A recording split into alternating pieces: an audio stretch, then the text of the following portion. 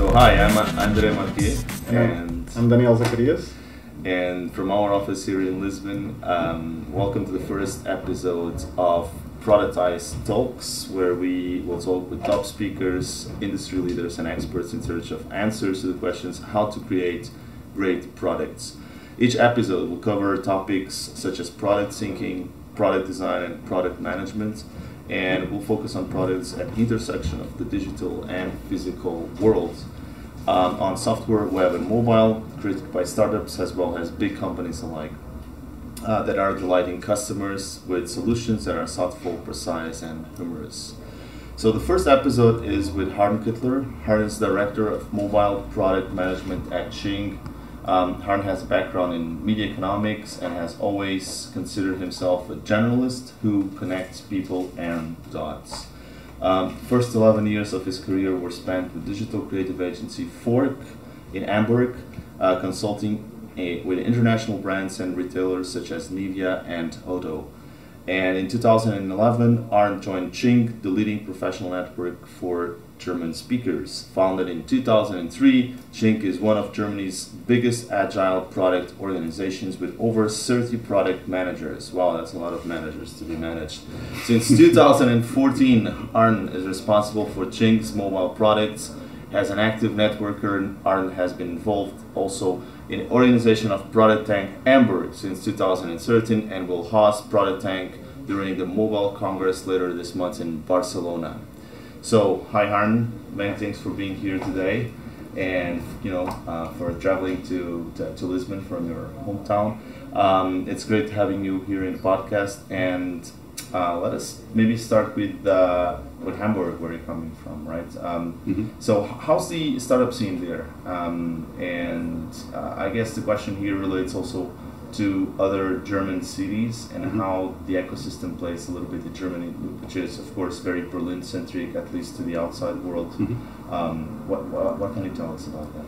Yeah, yeah, first of all, uh, thanks for having me here. It's, it's great to be here in Lisbon. And, Thanks. Um, yeah, but I mean, to be honest, um, I'm probably not the best connoisseur of the German startup scene. So, uh, but I'll, I'll tell you what my impression is. So, we, we do have great startups in Hamburg as well as in other cities, and uh, I think actually probably the Hamburg scene is better than than you would think. I mean, we, we do not have as many like world famous startups than uh, as, as Berlin has. Uh, so so some of the of the bigger famous startups are of course based in, uh, based in Berlin.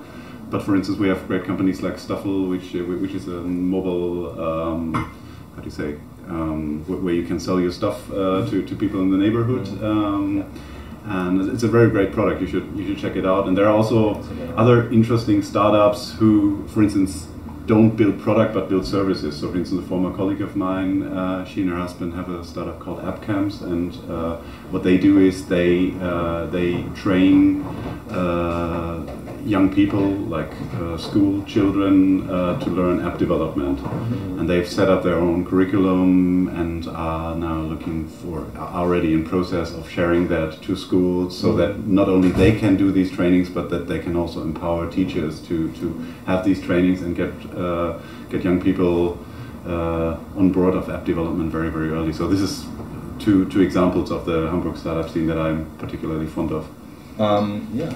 Uh, so uh, one, one one of the, the topics um, you briefly talked about yesterday during your product tank presentation here in Lisbon, uh, which by the way was really uh, really very uh, thoughtful and interesting, uh, was that most startups end up not having at the beginning at least uh, product managers as a role as a defined role and end up having um, the CEO playing as product manager.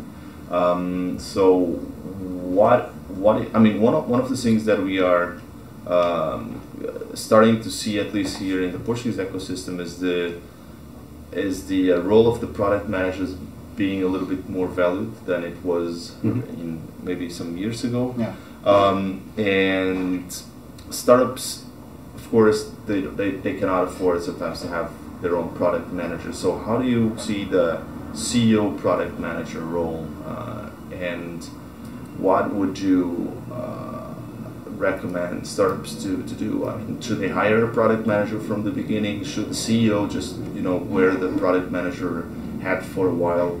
Um, you also talked about the CEO dash product manager uh, conflict, um, if so, and whoever gets more power inside the company. Mhm. So, um, what's your opinion for startups? I think it depends on on the what type of person the CEO is. Mm. So if if the CEO is a very strong product person, Mm. I, th- I think then you know I mean when you start in a very small organization, you should probably just bring this knowledge and experience and, and thinking into your product uh, directly.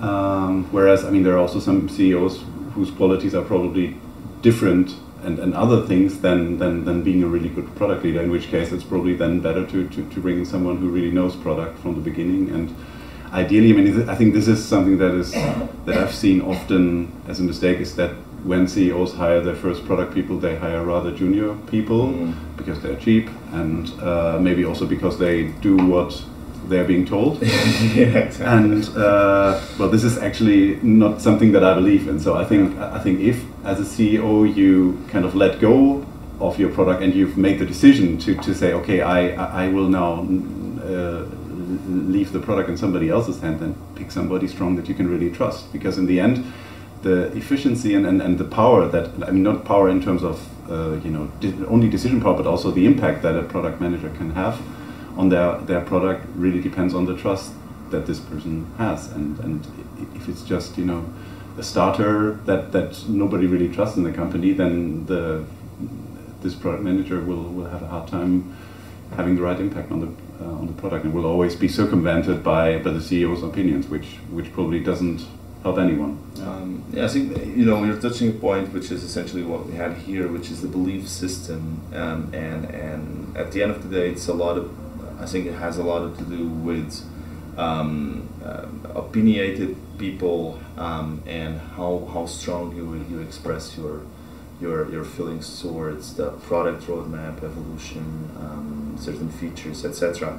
So, um, what kind of belief system should a good product manager um, have? Uh, is there is there a, specific psychological traits that you believe are important for product managers? Well, I think it's the, the, the tricky thing for, for, for product managers is to to clearly be a leader, but not in an egoistic way. So um, I like to to. the CEO, Sorry. opposites to the CEO, or in tune to the CEO. To be honest, I'm. Yeah, I mean, probably it's also it also would be good traits for a CEO, but but I think as a CEO, it's, uh, it's probably you, you can get by a little better if you're still being very egoistic. Whereas as a product uh, manager, I think you really have to be a team player, and and you, you shouldn't think that you're the expert on everything. I think I think you will only succeed if you also take uh, the, the people you work with serious enough to to really um, make the best out of the interdisciplinary team that you have, and, and, and not just try to force your own ideas through the whole time. I think that's that's Yeah, there's this saying of uh, having strong opinions uh, weakly held, uh, Mhm. in, in the sense of uh, yeah, you should strive for uh, some sort of vision or direction, but be open to receiving uh, new inputs that change your mind. Mhm. Uh, so uh, that's kind of a that's a tough thing to to, to be uh, aware of and be good at because you know we like our own ideas, where we get enamored by uh, our own thoughts and and, and how how how can we gain uh, this sort of emotional distance from uh, from what we are trying to do? Uh, that's that's kind of, that's my the, the big issue I think. Mhm. Uh, how would you say that we need to exercise this emotional distance from our own ideas so that what wins is whatever is best for the product, not what's best for our ego or Mhm. uh, something like that. Mhm. Well, I think there are two things. I mean, one as kind of a just as an attitude. I think curiosity is always helpful to have, and as long as you're very curious, this will keep your eyes and ears open to, to, to other things. So, so I think that's a very important um, attitude uh, uh, or trait a, a product manager should have. And the second thing, and that's something you can more consciously do, is to be really clear about um, um, about sorry what are your what, what are your assumptions and hypotheses? Mm-hmm. So not be, not thinking that everything that your opinion or your views right now is always a fact, but that most of the things y- you will have in your head are merely assumptions. And being open that they are just assumption, and being also willing to well verify or, uh, or falsify them in a transparent way that is shared with your team and and uh, with your stakeholders. I think that's um, what what really helps to to avoid a, um, Funnelized vision. funnelized vision. Yeah. So when when you joined uh, Xing in 2011, I guess you joined just after Lars, uh, the founder, uh, had left the company, or Mm. did you still um, meet him? No. not really. I, okay. I haven't met him. Um, I think he left two years so before I started. Um, Uh, so yeah, so- I think he left in 2009, if I'm not yeah, yeah, and I started 2011. Um, so was this was this Mark still present in the company? Was this uh, I, I guess CEO dash product vision still imprinted in the DNA of Xing, or you know um, the the company had taken over? Whatever.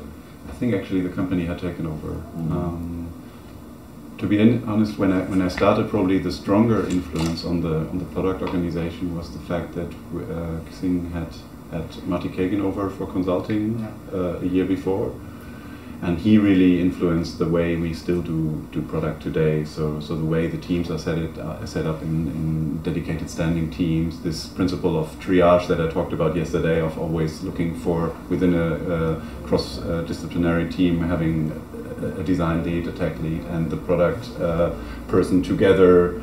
Uh, get very early on in the in the process, making sure that, that the direction is right, etc. So those are things that Marty brought in, I believe, and uh, that really shaped the way we work. We've we've done some some changes, of course, since then, but that, that was a stronger influence I felt than the influence of Lars. I mean, still, of course, it's his company or the company he founded. So, uh, but just in terms of the product organization, it was Marty rather than Lars.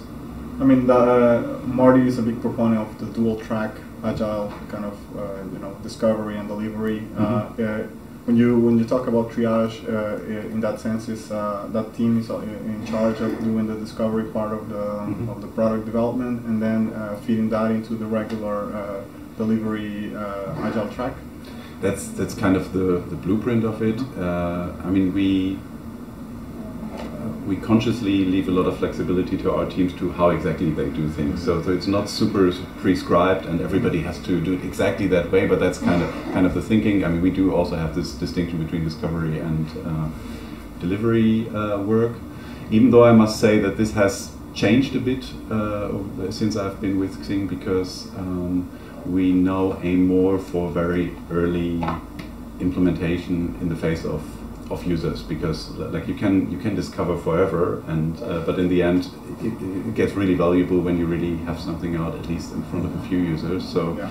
we, we are we have put more emphasis on very early A/B testing, for instance, and like in our product organization, we, we have like one of our beliefs is we call factualize. I think it's a made-up English word, but anyways, it's it's again about this thing like not, not dealing too much with assumptions and hypotheses, but really getting to the point where you can quantify what's what's really happening out there and what your users really do with uh, a new feature that you've thought about, or which of two alternatives that you have in your mind they really like better. So this is something that wasn't as prominent when I when I joined, and that is much more prominent right now. Great. So, uh, taking a step back, maybe uh, for those that may be unfamiliar with Xing, uh, uh, could you help us describe uh, what the product is and what your role in the organization is? Yeah, so Xing um, is a, a professional network focused around people, news, and jobs. Uh, we've been around since 2003, and uh, currently we have a rather large product organization with about 30 product managers who are basically structured along uh, different verticals uh, that we have inside the company. So, So, if uh, if going for uh, other markets outside of the German-speaking market uh, is, uh, is, is is that a known goal for for Xing at the moment? yeah, at the moment it's clearly something we don't do. Mm-hmm. I mean, everybody's welcome to register, but we are not actively aiming to, to go international. How does that limit your your product management role? I mean, knowing that you have this box where you have to work and you have to be very good, um, how does that limit your workspace and um, or, or is there any limit whatsoever? To be honest, I, I don't see it so much as a limit. Mm. Um, You have what 100 million uh, German speakers in Europe. Uh, yeah, kind of that level. 80, Okay, so 80 one in Germany and then eight- uh, a little 20s less than yeah, yeah. I think it's 120 overall uh, 120, German-speaking okay. um, So population, if I'm I'm not mistaken. Um, I don't find it limiting, to be honest, because I think that's I mean it's a strong economical um, region Mhm. and. Uh, I mean, the, the, the, what it has as a challenge, but I don't see that as a negative challenge, but rather as a positive challenge, is, is of course, I mean, yes, we, we cannot just go by saying, okay, now we, we conquer India, and, and there are many, many new people signing up from India, but we really have to think, okay, how, what are additional services that we can provide to our, uh, to our audience, and I mean, also we still have room to grow within within our markets. Like we're currently in those markets uh, at about nine million uh, users, Mhm. and uh, so I think th- there's still room to grow uh, for us.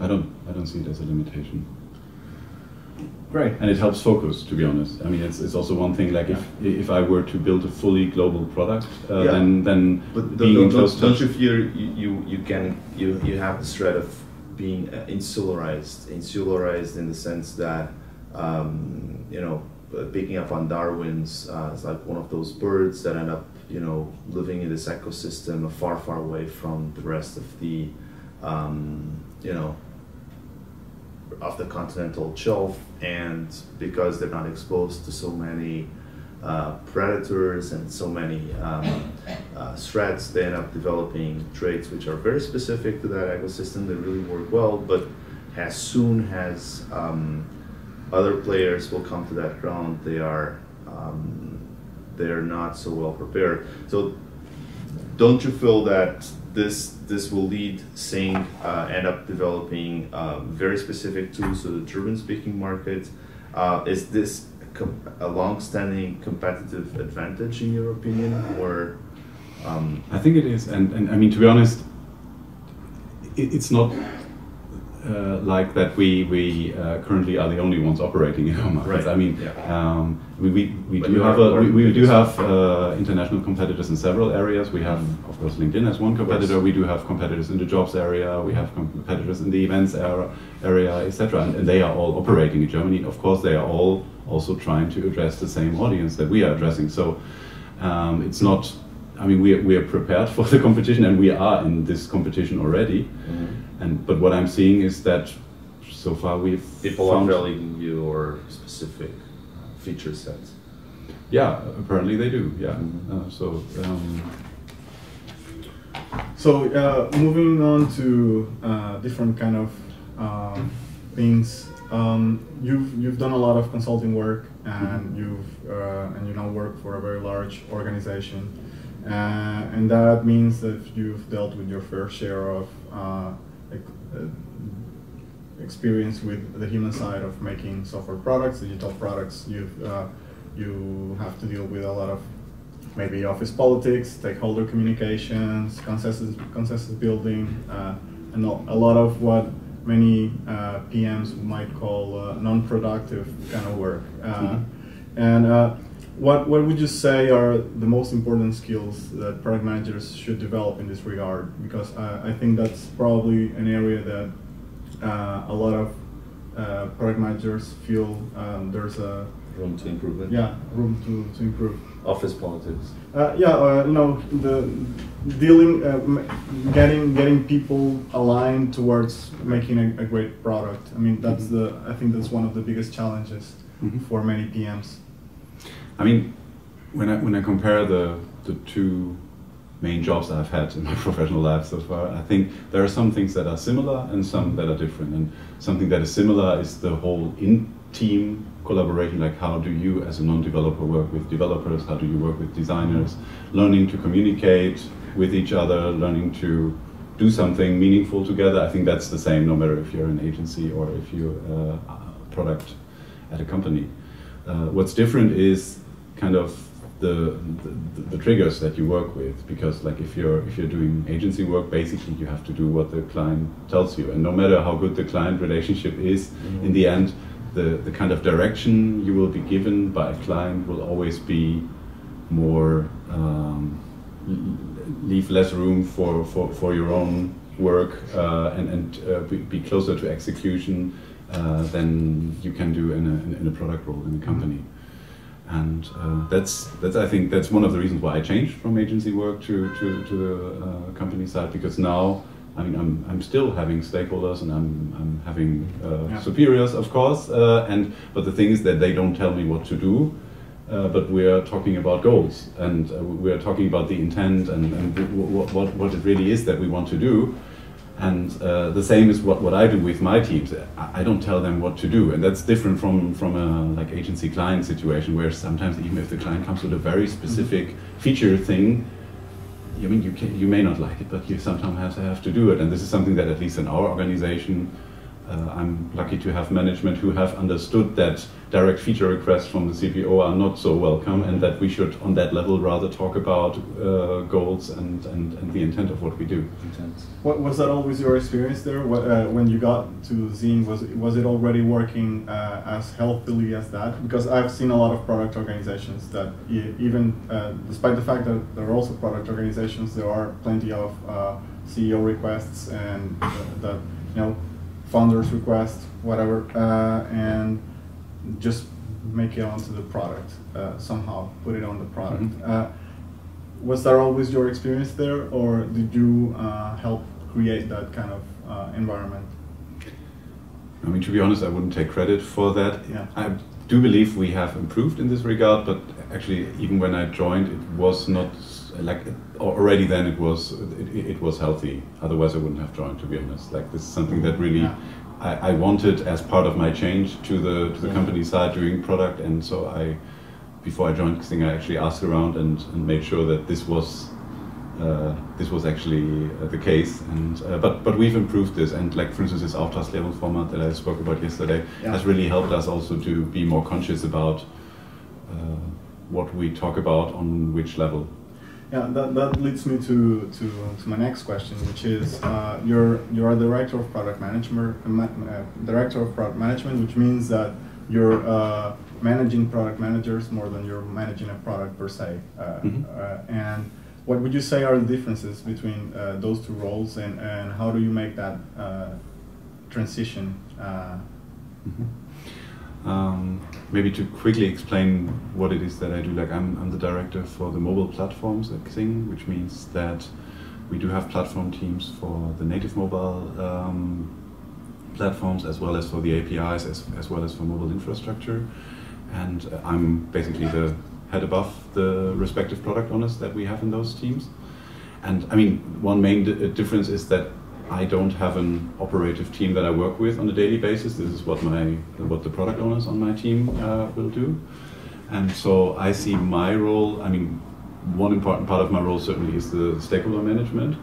I'm not the only one doing stakeholder management. It's also my the product owners on my team do that as well. But I'm I'm trying to well take the the, the, the, bigger topics and, and the more difficult ones away, or I'm also part of the escalation process. So if, if for instance, a product owner on my team and a product owner that he collaborates with mm-hmm. in another team, if they find out in their collaboration that they have conflicting goals that they cannot resolve themselves, then they would typically escalate that to me as well as my uh, uh, my, my, peer in, in, in the other part of the organization, and uh, we would then help give direction say, okay, these are the priorities, and now uh, go back and, and continue uh, looking for a solution together.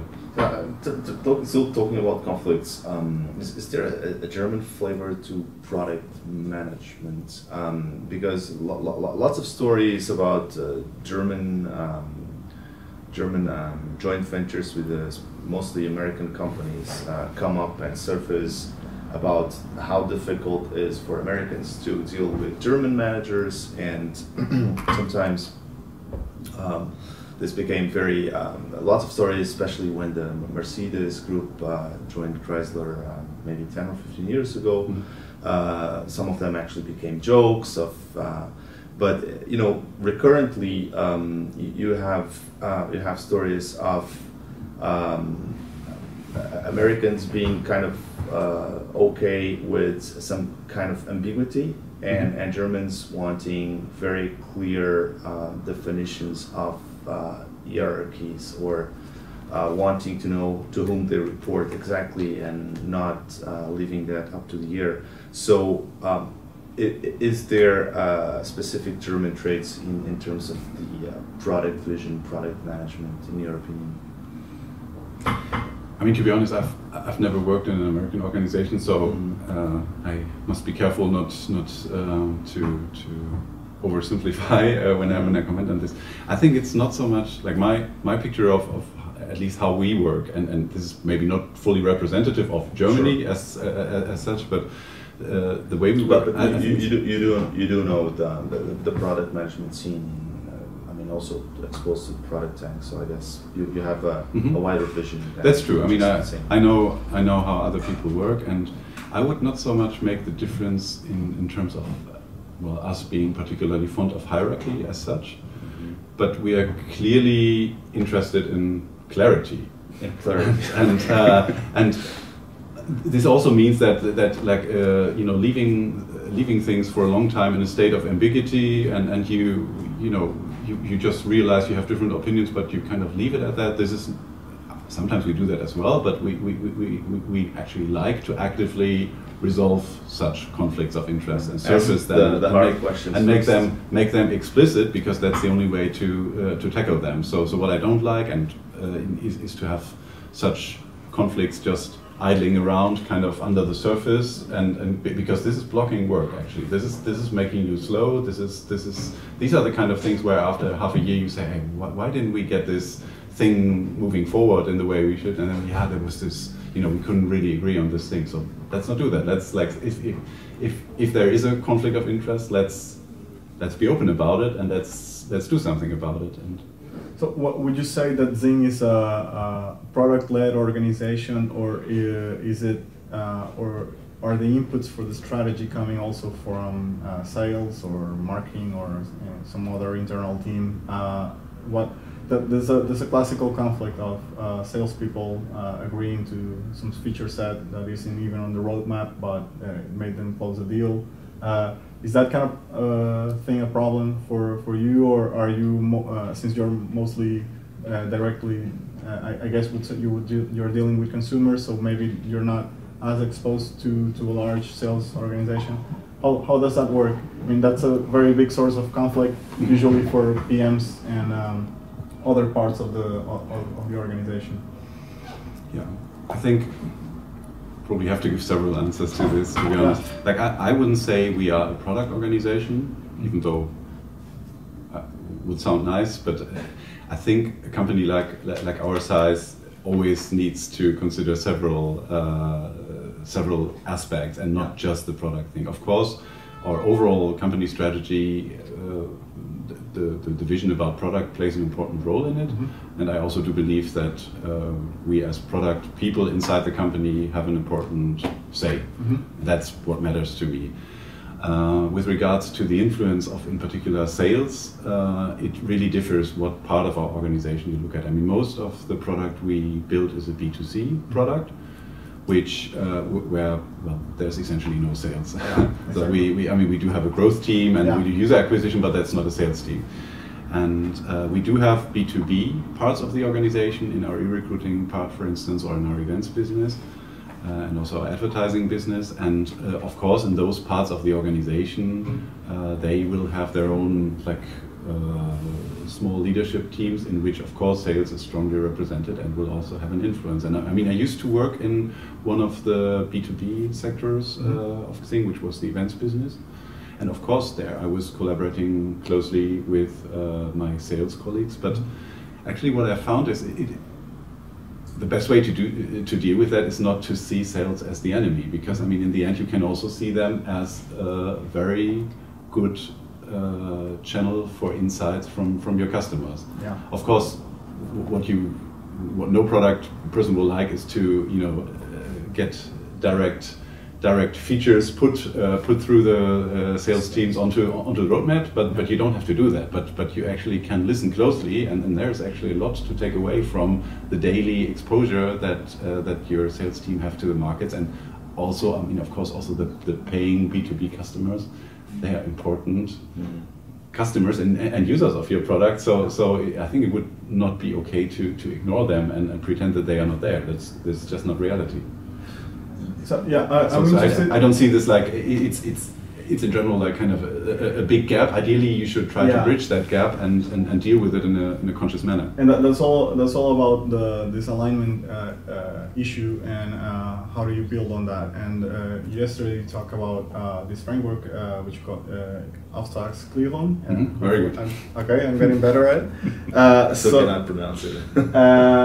and um, so. We, and you how uh, and you you talked about how how you use that in terms of uh, setting uh, uh a bigger uh, a better view of what what's to be done and why it should be done and, and get alignment both from the bottom up and also from the top down and I would guess that it probably used across uh, different also used across different areas of the company yeah.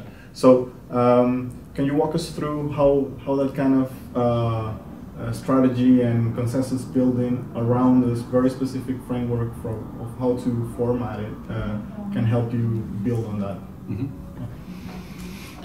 um, yeah, I mean, we, we, we, introduced Auftragsklärung, as we like to call it, uh, last year.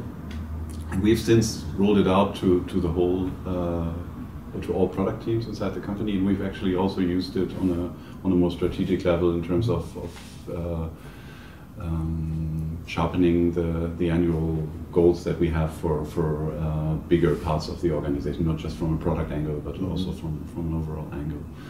And um, basically, what it what it does is it forces you to ask the tricky questions very early. It forces you to be really clear about your intent and get alignment about the why you're doing something and what you're doing, mm -hmm. so that then the team that's actually building something and working with it has maximum autonomy with regards to how exactly they do it. So, so the that's that's kind of the general thinking behind this is, is like in this in this balance of autonomy and alignment. We believe that there's only autonomy in the way a team can work if they have enough of an alignment with their superiors as well as the, the rest of the, uh, the company around them, mm-hmm. Uh, because otherwise they, they will just not be granted the necessary freedom to, to, to work uh, autonomously. Okay, so um, um, this is a very interesting tool that you uh, described, and, and um, can you walk us through uh, its origin and uh, and how do you deploy it in practice mm-hmm. in the in the organization? Mm -hmm. I mean, the, the origin, maybe to explain, like we, we, we started last year just with a with the first draft of what the what the things were that we yeah. we wanted to look at for uh, for each new initiative. We then basically iterated around it, and uh, one thing that helped us uh, with iterating around it was actually that that we uh, met a guy called Stephen Bungay from from the UK uh, and what we learned from him that was interesting. That's one of the reasons also why I like to stick to the German word Auftragsklärung, even though it's hard to pronounce for people in Portugal, I understand, but you're doing very well. Um, is that there's an uh, interesting revival, I'd say, of um, uh, 19th century Prussian army uh, military theories from, from guys like Helmut von Moltke and basically, the thinking that they had at those times resonates very well with the with the startup world or with the digital business world that we have today. Because what they found is that the apparently classical style of leading troops in a very clear command and control style uh, was not successful in times of uncertainty and also not in times of scaling. And uh, this is the parallel to our world, of course, because we're in high uncertainty and we're also all trying to scale as organizations. So basically, instead of giving commands and expecting to people to do exactly what you tell them to do, they said it's more important to be really clear about what your intent is and where you want to go, and uh, then leave the people enough autonomy to, to still decide on the spot uh, what, what is the best thing they should be doing, but still have enough guidance to uh, to basically make sure that one team doesn't go off in a totally different direction from another team. So this this kind of thinking uh, helped us to sharpen the format that we have now. And um, the way it works is basically we have several fields in there that, that, that we work with. Uh, one is stating the context. That is basically why are we talking at all? Like what is the situation and what is the complicated thing about the situation that well leads us to think about a new initiative. Uh, then the most important thing is to state what our intent is, and that will usually be like what is the intent of the product manager who is initiating this initiative. Mm-hmm. And this is ideally, this is now uh, kind of stealing a little bit from Stephen Bungay. He calls this question for intent like the Spice Girls questions: What do you really, really want? uh, and ideally, you know, you can you can write many, many pages about what you really, really want. But if you manage to get it into a tweet, it's even better. Like try to be really concise about it then uh, it's since you will usually as a creative product manager have several great intents that you think you could follow, you of course will make a conscious decision which of those you uh, pick. Mm -hmm. And you do this by stating like how does your intent fit into the higher intent of uh, well the organization and the people above you basically one or two, like strategy how does this fit with the strategy one and two levels up mm -hmm. And um, then the next thing we would be looking at is what are the boundaries? Um, no, sorry, it's not the boundaries first, it's first the outcome, um, okay. which is an important focus we are, we've now been putting for the last two years, I think. So we don't focus so much on output anymore. We really look for what is the actual outcome, what, does, what does this change uh, for our users, and then also subsequently for us as a company. Mm-hmm. And um, so for, for the outcome, we really want to uh, state that in a way that's uh, measurable, that's uh, kind of a, metric that we can track, and ideally a specific metric, not just saying, okay, we want to increase activity, because everything you do can increase activity, trying to be really sharp about it, and also stating an ambition level, like do you want to get a 10% increase or a 10x increase, yeah. so that you can talk about it. And the, the aim of this is not so much to have something then where, where at the end somebody comes and punishes you if you only made 9x instead of 10x. Yeah it's uh, it's more to to indicate uh, clearly, um, uh, like basically give you give you a framework so so you can see if you're on the right track to to reaching the intent that that you have. Because it will usually not be something that you implement and then from one day to the other bam you're there. It's usually product development is a is a longer process and you you need to know how you can see if, if you're on the right track or if you need to to make amendments. So that's the outcome uh, next thing we would look at is boundaries. So even if you reach uh, or if you're on the right track to a certain outcome, there may be certain things that must not happen. So, for instance, uh, you, you're increasing a certain activity metric, but the sign up rates of new users must not go down caused by, by the solutions you uh, implement. It's also good to state that up front and, and not just have somebody complain about it afterwards. Um, and then uh, the, the, the, last two components that we have is the input. It's basically what, what do you need, like how, how, much time with how many people do you intend to work on something, what are important decisions th that you need, and what, what I find like in a large product, product organization like ours very important is like what's your expectation from other teams. Stating that really explicitly instead of just chatting about it in an informal way and then being surprised later on if, well, it didn't have uh, the reliability that you that, that, that, you were hoping for. So so uh, basically, if you uh, at Xing, if you put another team in the input part of your Auftragsklärung, say, okay, I want the data science team to give me a new call for uh, people recommendations, for instance, they need to know about it. Otherwise, you're cheating. yeah. And uh, lastly, it's the output. And uh, the output is basically when do you have something tangible in front of your real users summing up, like the, the two main thing is being really clear about the intent, and that's the most tricky thing. Like it's like it's very easy to first write it down, but when you really try to again and again and again iterate around it, challenge it, this is really that that helps you sharpen your thinking, and that's that's really valuable thing to to get right, and being clear about the outcome. Those those are the two things that really have uh, value. What, what kind of uh, what kind of um, considerations goes into uh, product managers uh, believe in a given outcome. I mean, uh, how um, how do I get to that point where I believe that uh, working on this piece of uh, epic theme, whatever, uh, is going to make for an improvement on uh, 10x or 10%? What kind of signals do they use to reach that conclusion? Is it based on their own, uh, you know, knowledge about the product? Is it based on uh, customer feedback they're getting? Is is it uh, what kind of research goes into projecting that this particular uh, problem space, if if tackled, would lead us to a 10% or 10x increase? I'd say it's a, it's a mix of things. I mean, in general, we like to work more and more with data that we have, and Okay. As a as a platform that has been around for 13 years now, we do have a lot of data that we can actually benefit from by by analyzing it carefully. And for instance, I do have an uh, user analytics guy sitting in my team who, who can help us do that uh, because some of this is too tricky for me to do, to be honest. and um, so that's that's one part.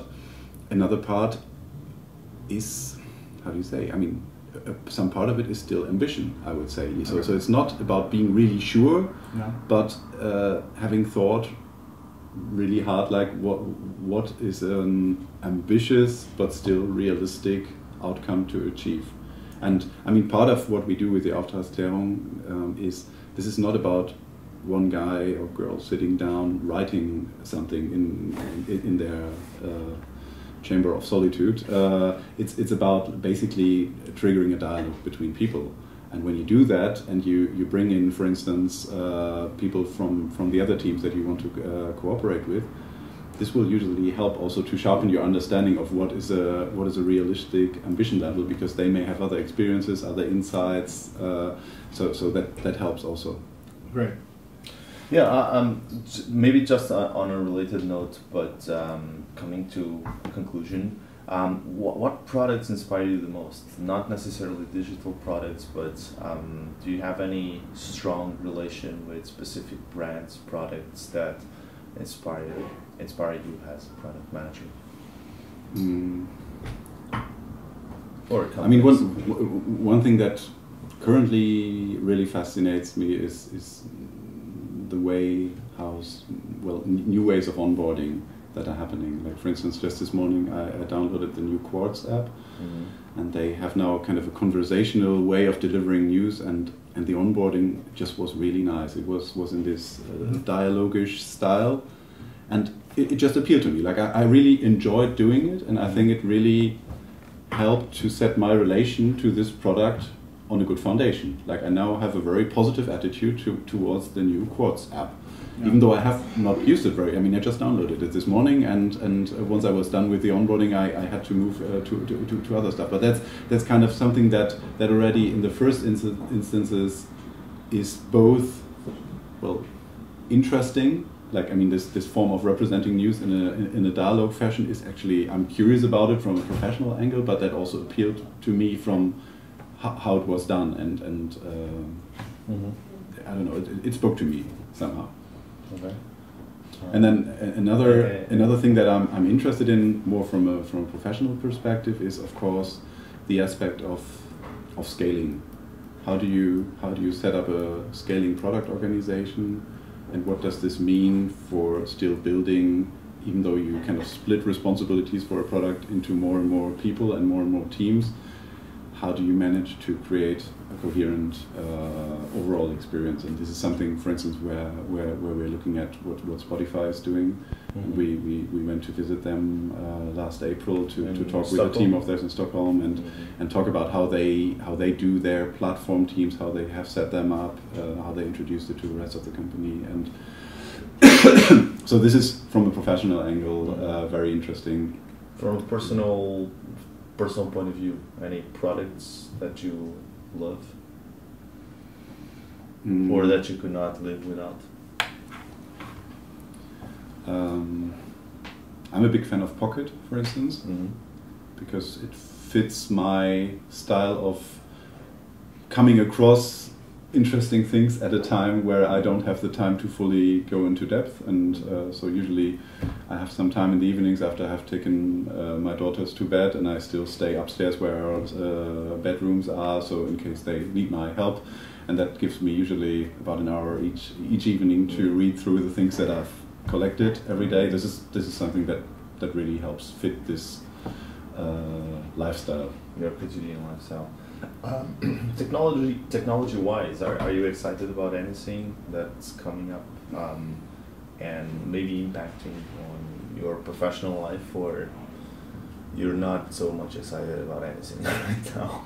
No, I'm excited about many things. It's Uh. it's the thing is that I'm I'm actually more interested in the changes in well user behavior Mhm. and, and, and, and the general paradigms of how we communicate and how we interact with media rather than the technology itself. Like I'm not a geek in, in, in that sense that I, I'm the first one to Mhm. to try out a new technology. I'm, I'm rather the observer type that, that uh, tries to look at okay what is it actually doing with people and I mean of course this whole topic of uh, messengers as platforms, chatbots, this this whole topic and what that really means for users and what that means for a society, I Mhm. think is really really interesting. Like I really believe that we will have uh, we will see more conversational interfaces coming, and uh, but the tricky thing or the tricky question is like in which areas is this actually a good thing and in which areas is it a, a dangerous or a stupid thing to do Mhm. and uh, i think nobody can answer that question right now properly but this is one thing that i'm observing with a lot of uh, curiosity right now Okay. Yeah, I think uh, we had it all. Right. Um, so thanks a lot again for for Yeah. having us uh, for I guess 15 minutes or so, and um, and we'll be coming back um, for the, I mean I I hope to see you back for the Productized conference in 2016 here Mhm. in, in Lisbon October um, the, the 20th um, of October here in Lisbon.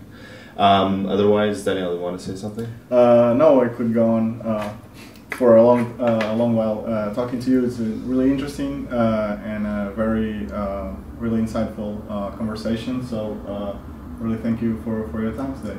yeah. thank you too Thank you. See you next time. Yeah. Bye bye. Bye. see you in october